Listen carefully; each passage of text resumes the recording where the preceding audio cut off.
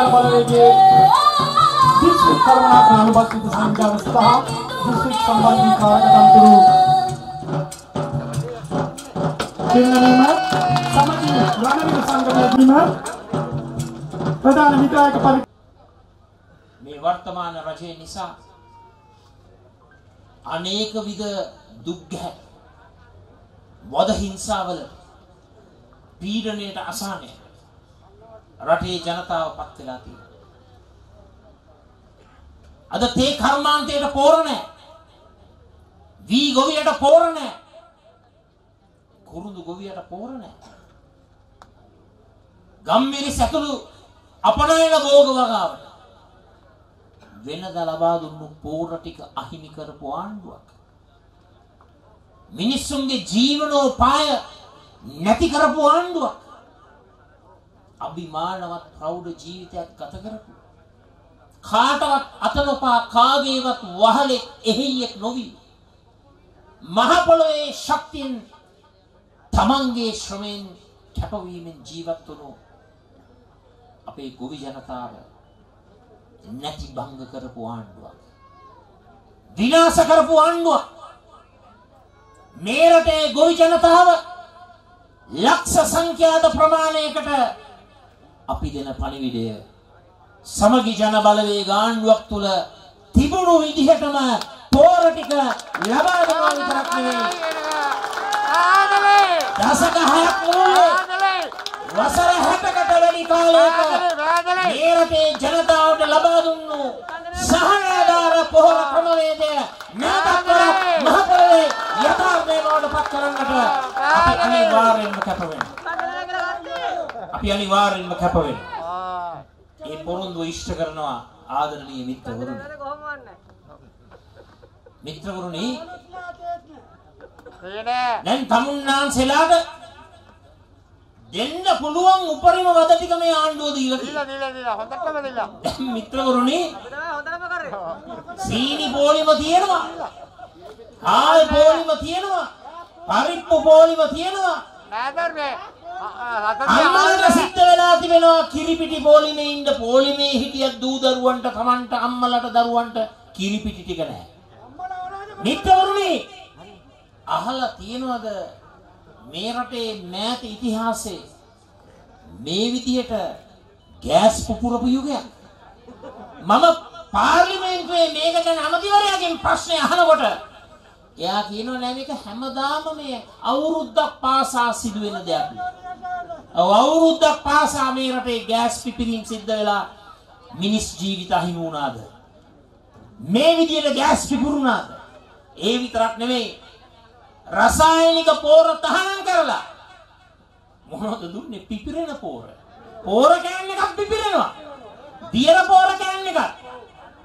මිත්‍රවරුනි මේ ආණ්ඩුව කරේ ජනතාවගේ ජන ජීවිතය පුපුරවන තීන්දුව තීරණ ගත්ත එක.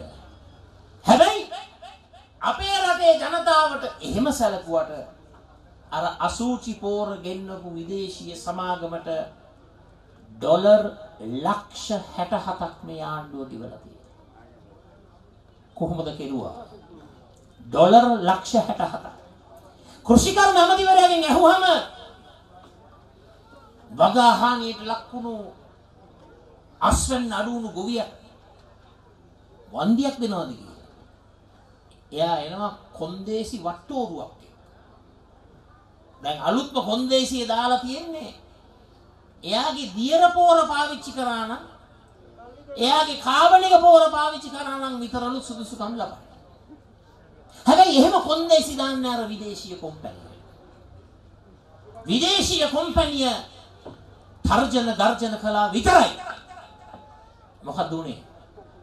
ඇමතිවරු ධන ගහගෙන ගියා තානාපති කාර්යාලයට තානාපති නිලධාරීන් හමු වෙන්න. ධන ගහගෙන ගියා විතරක් නෙමෙයි වැඳ වැටුණා. වැඳ වැටිලා කිව්වා එහෙමයි ස්වාමීනි අර කොම්පැනියට අපි ඩොලර් ලක්ෂ 67 ගෙවන්නම් කියලා පොරොන්දුවකුත් දුන්නා. මේකද දේශාභිමානය? මේකද දේශ හිතයිසීත්වය? මේකද රට සුරකීම? මහ ලොකුවට වීරකම් ගැන කතා කරලා සූරකම් ගැන කතා කරලා මිත්‍රවරුනි තුට්ටු දෙකට අපේ රටේ ජනතාවගේ ආත්මය පාවලා දුන්නු යුගයක් අද මේ රජය බිහි කරලා තියෙනවා. ආත්මය පාවලා දීලා තියෙනවා. ආත්ම ගරුත්වය පාවලා දීලා තියෙනවා. රට පාවලා දීලා තියෙනවා. අපේ ආගම ධර්මයේ සංස්කෘතිය සભ્યත්වය හැම දෙයක්ම දැන් අද වෙන්දේසි. දැන් අපි ඉන්නේ වෙන්දේසි ලන්තේ. සෞභාග්‍යයේ දැක්මෙන් අද නිර්මාණය වෙලා තිබෙනවා වෙන්දේසි ලන්තේ. දැන් මිත්‍රවරුනි තමුන්නාන්සලාට පොළට ගියාම බඩ පපුව ඇඟ ඔක්කොම රත් වෙනව නේද? බඩු මිල දිහා බැලුවා. ඔබතුමන්ලා දන්නවද? මේ උත්තමණයට හේතුව මොකක්ද? ඔබතුමන්ලා දන්නවද මිත්‍රවරුනි? මේ වන විට මහ බැංකුව රුපියල් ට්‍රිලියන 1.4ක් මුදල් ලච්චු ගහලා තියෙනවා. මෙහෙම මුදල් ලච්චු ගහපු කාලයක් මේ රටේ බිහි කරා. මහ බැංකුව ආරම්භ කරලා මේ අවුරුදු දෙක කාලයක් වෙනකන් මෙච්චරවත් ගැහුවේ නෑ. මේ කාලය පුරාවටම මුදල් ලච්චු ගැසි. එහෙම කරේ නෑ. නමුත් මේ අවුරුද්දට විතරක් රුපියල් ට්‍රිලියන 1.4 අපි මේ ගැන ප්‍රශ්න කරා. අපි ඇහුවා මෙහෙම අච්චු ගහනකොට උද්දමනය වැඩි වෙනව නේද? බඩු මිල වැඩි වෙනව නේද? අද රටේ නිර්මාණය වෙලා තිබෙන්නේ නිකම්ම නිකන් උද්දමනයක් නෙවෙයි අදි උද්දමනයක්. උද්දමනයේ උච්චම අවස්ථාවට අපි රටක් හැටියට ගමන් කරමින් සිටිනවා. විශේෂඥයෝ කියනවා මිත්‍රවරුනි මම ප්‍රාර්ථනා කරනවා එසේ නොවේවා කියලා. සහල් කිලෝව ළඟදිම 200 300 වෙයි කියලා. මිත්‍රවරුනි කොහොමද මිනිස්සු ජීවත් වෙන්නේ? කොහොමද දරුමල්ලෝ ආරක්ෂා කරන්නේ? කොහොමද දූ දරුවන්ට ඒ අත්‍යවශ්‍ය පෝෂණය ලබා දෙන්නේ? කොහොමද අපේ අම්මලව රැකගන්නේ? ඒ එකක්වත් ගැන මේ ආණ්ඩුව හිතන්නේ. එකම දෙය හිතන්නේ. කොහොමද Taman රැකෙන්නේ? Tamanගේ පවුල කොහොමද රැකෙන්නේ? Tamanගේ පවුල් සංස්ථාව කොහොමද ආරක්ෂා කරන්නේ? Tamanගේ ගජවිතුරු සංගමය කොහොමද ආරක්ෂා කරන්නේ?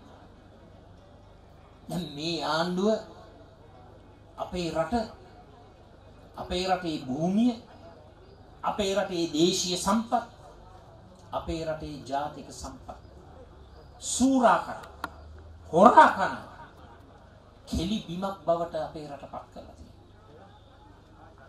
මේ ආණ්ඩුව අපේ රටේ දේශීය සම්පත රාජ්‍ය සම්පත රටේ ජනතාවගේ සල්ලි අමු අමුවේ මහදවල් මංගොල්ල කරනවා. පොල් තෙල් වලින් ගසා කෑවා සුදු ලුණු වලින් ගසා කෑවා සීනි වලින් ගසා කෑවා දකින්න දකින්න හැම දෙයකින්ම කසා කරා. මිත්‍රවරුනි හිතවතුනි සූදානම් වන්න මේ රටේ සමාජ පෙරලියක් කරන්න.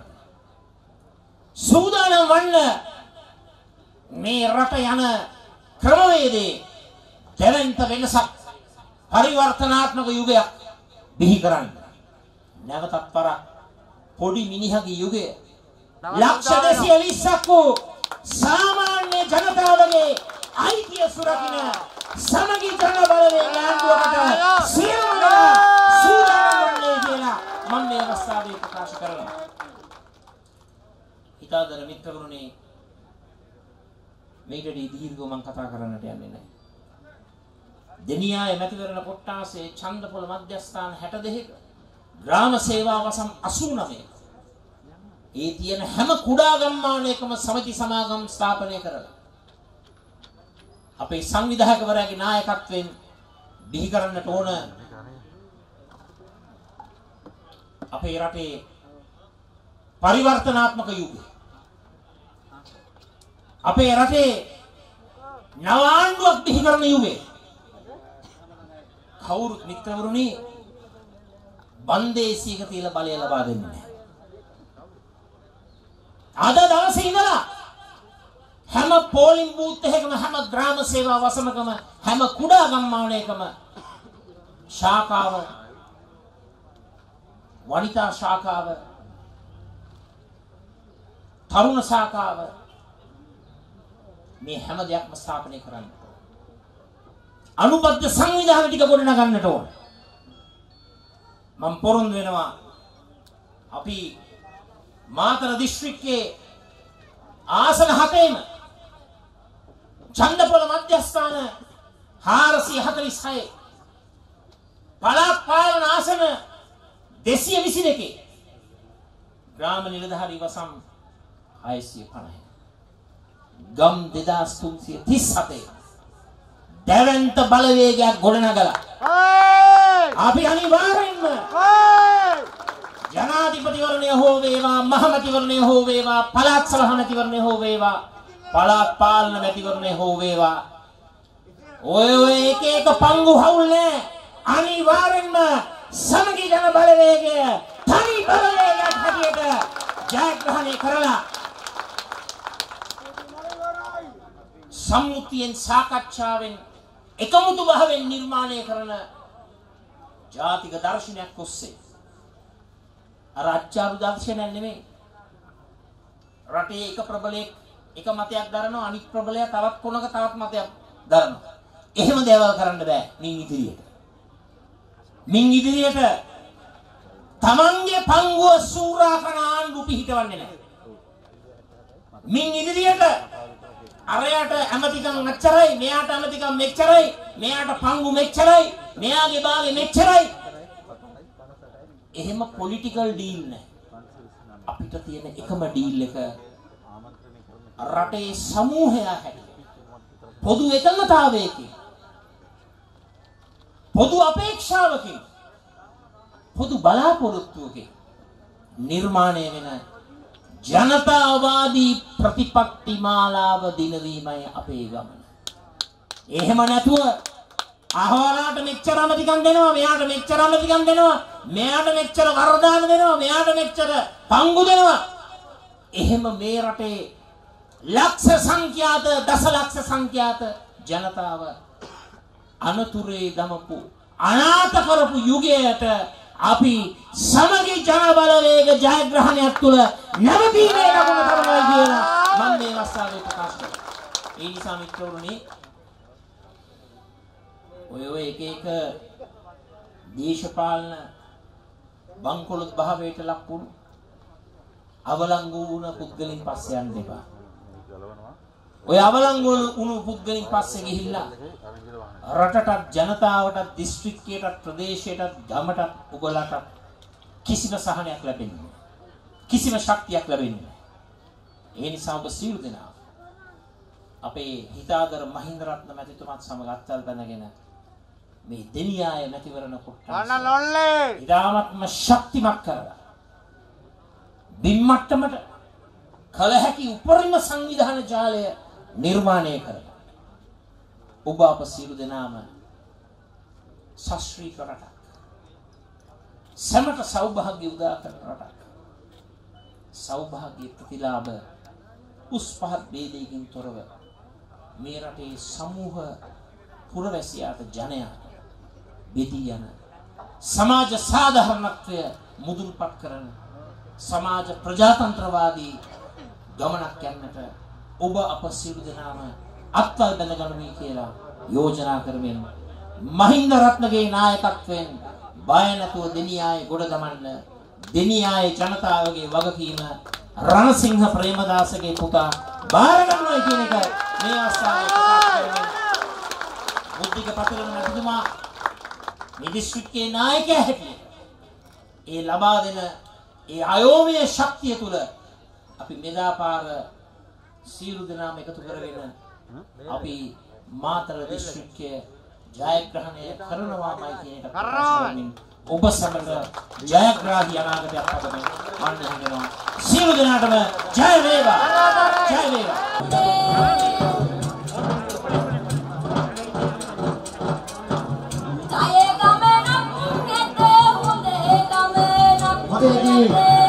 Yeah. WG අනුර වැත්තුමන්ට WG රවීන්ද්‍ර වැත්තුමන්ට බහුත්තර මල්ලික ආර්.එස්. සිරිපාල මහත්මයා ඇතුළත්